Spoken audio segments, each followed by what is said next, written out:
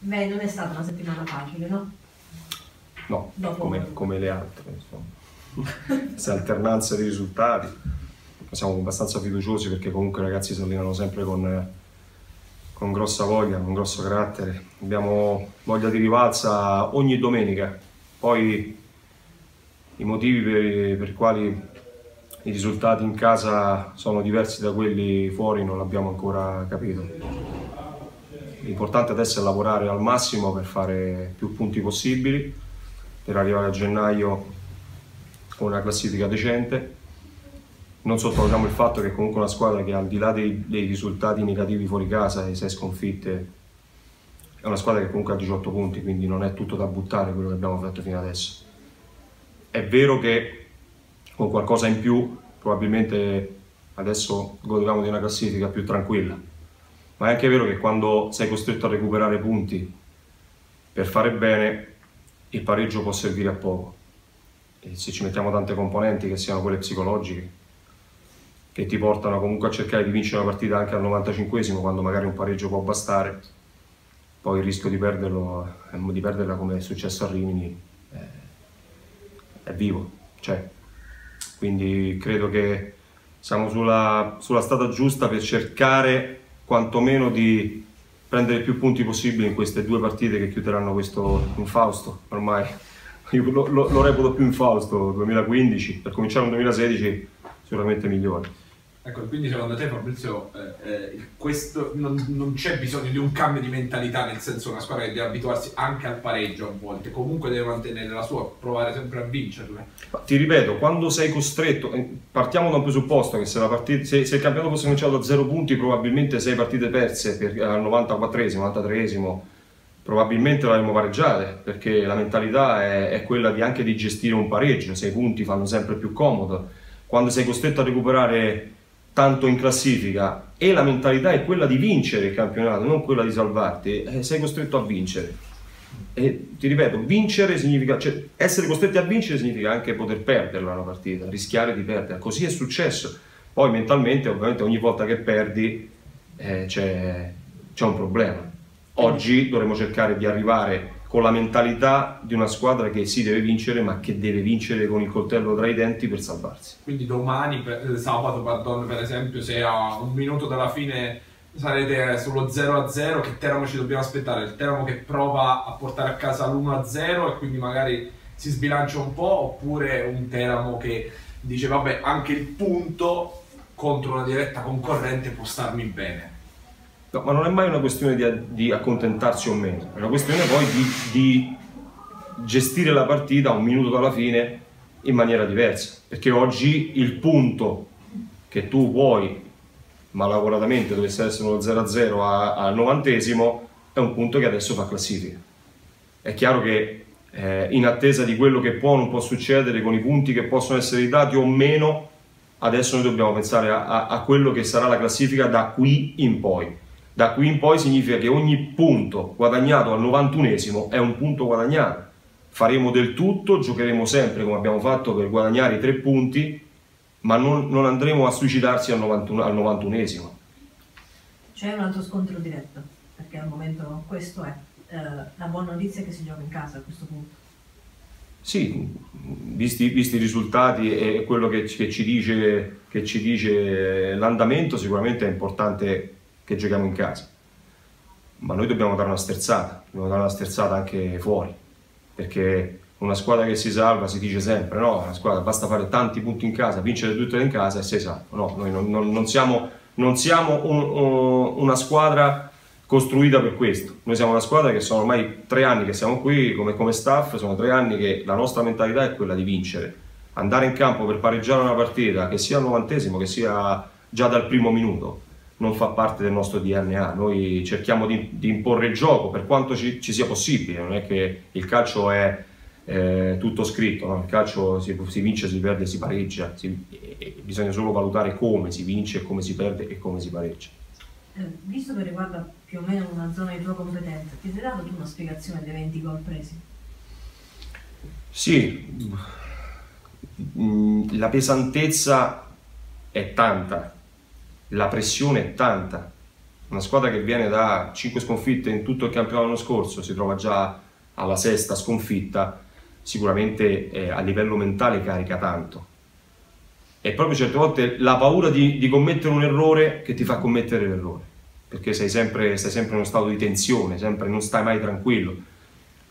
Quindi diciamo che secondo me, eh, da, quello posso, da quello che posso dire, probabilmente dipende da questo, dalla non sicurezza in determinate cose. C'è, c'è la sensazione che magari cambierete qualcosa in vista della, della Pistoiese? Ma guarda, eh, solitamente si fanno delle scelte quando, quando, una squadra fa una prestazione come quella che è stata fatta in casa contro il Siena, si, si, da, si, cerca, si cerca, sempre di dare una continuità, sia di risultato che di formazione, quindi no, è, è, anche una, una scelta giusta per il gruppo. Se lavoriamo con il gruppo, ognuno deve avere la sua possibilità e deve mettere, avere la possibilità di, di riproporsi anche quando le cose vanno bene soprattutto, si ripropone il discorso. Ovviamente quando si perde il gruppo è composto da 24 persone, nessuno ci obbliga a mantenere la stessa squadra, siamo 24 e tutti validi. Può succedere che qualcosa può cambiare.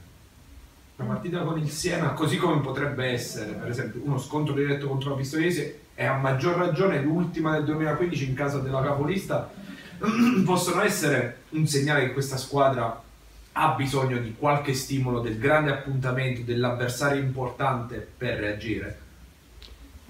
Probabilmente sì, perché nella testa dei ragazzi credo ci sia la consapevolezza e, e, e la coscienza di essere una squadra all'altezza e questo io non, fino, penso che fino a, al 30 giugno sarò qui a ripeterlo perché è una squadra che ha dei ragazzi che hanno dei valori interni.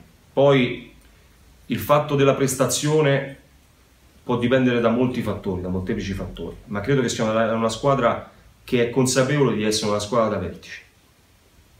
Ha la forza per poterlo fare e probabilmente quando si incontrano squadre forti esce fuori questa, questa particolarità.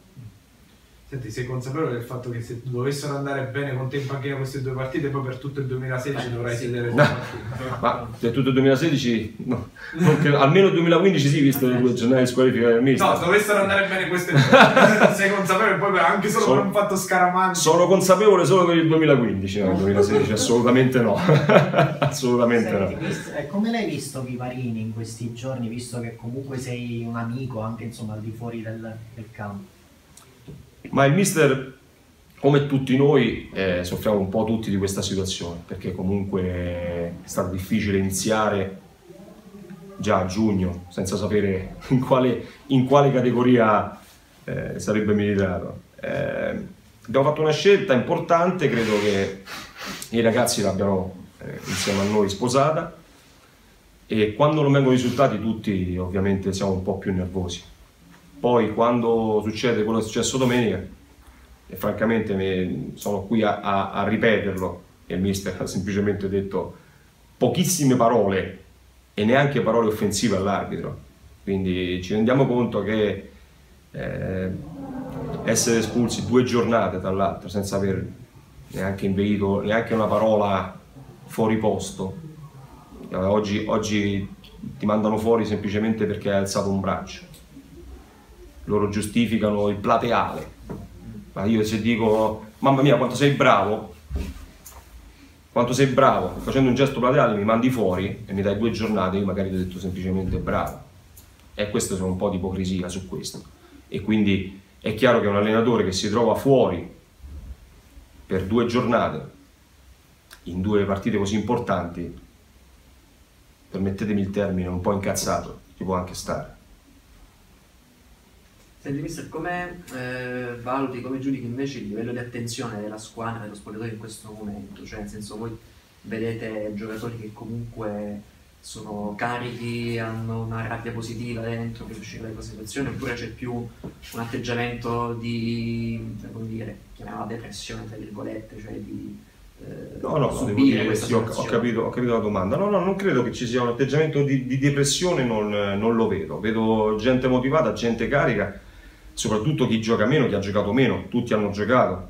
Eh, è normale che sia così, è normale che chi non gioca abbia dentro la rabbia in più, è normale che chi gioca invece abbia quella rabbia per dimostrare che non siamo quelli che, che vediamo fuori casa, ma siamo quelli che si vedono spesso in casa. Quindi c'è una grossa motivazione da parte di tutti per fare risultato e per, da, per fare risultato e per uscire da questa situazione che, che è pesante per tutti, ci rendiamo conto che è pesante per tutti. Ma nessuno, ripeto, nessuno sta qui per, eh, per fare la presenza. Nessuno dei 24 ragazzi dello staff della, della società. Siamo qua per fare un campionato decente a questo punto. Arriviamo dove dobbiamo arrivare, poi vediamo. Intanto pensiamo partita per partita a dare il massimo, il massimo di noi in tutto. Ci sono problematiche a livello fisico che possono mettere in dubbio la presenza? Non che siano di normale amministrazione, insomma, c'è chi vari, ma niente di, di che nel messo a disposizione. Della Pistoiese che ci dici? Ah, della Pistoiese posso dirti che è una squadra che è diretta concorrente in questo momento e quindi loro saranno col coltello dai denti, una squadra che, che corre, una squadra che ha buone individualità sugli esterni io in questo momento qua penserei a noi e non agli altri, perché anche un carico degli altri in questo momento può darci fastidio. Pensiamo a entrare in campo noi come rullo compressore, come abbiamo fatto con, con l'Arezzo in 10 uomini schiacciati dentro la metà campo per, per 80 minuti e poi usciremo con, il risultato in mano entrare in campo a livello tattico, il modulo non si cambia sostanzialmente. Si Ma queste sono valutazioni che fa il mister durante la settimana, vediamo anche con la disponibilità dei giocatori, chi sta bene, chi sta male, chi, chi ha giocato di più, chi ha qualche minuto in più sulle gambe, chi ce l'ha in meno. Sono valutazioni che, che spettano eh, spessamente a lui. Però diciamo che quel modulo, è, modulo è, un base, punto di riferimento. Esatto, è un punto di riferimento. È un, è un modulo che comunque ci ha portato a vincere un campionato l'anno scorso.